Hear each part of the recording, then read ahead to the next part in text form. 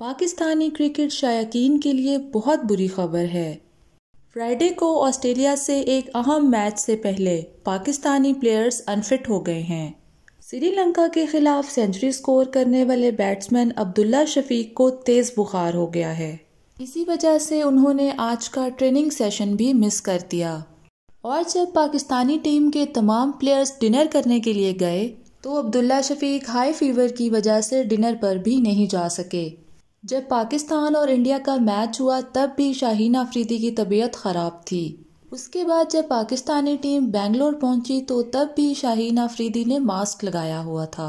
शाहीन अफरीदी और जमान खान को weather change होने की वजह से फ्लू हो गया है, जबकि उसामा मीर की तबीयत अब पहले से बेहतर है। और अगर फ़खर समान की बात की जाए तो उनको घुटने में दर्द थी, जिसकी वजह से वो मैच नहीं खेल पा रहे थे। और अब उनकी कंडीशन भी काफ़ी बेहतर है।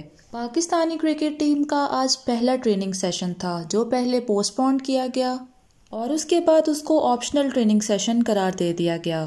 तो पाकिस्तानी प्लेयर्स को दुआओं में ज़रूर याद रखें, ताकि वो जल्दी से सेहत याब हो जाएँ और बहुत अच्छा परफॉर्म कर सकें और पाकिस्तान का नाम रोशन करें।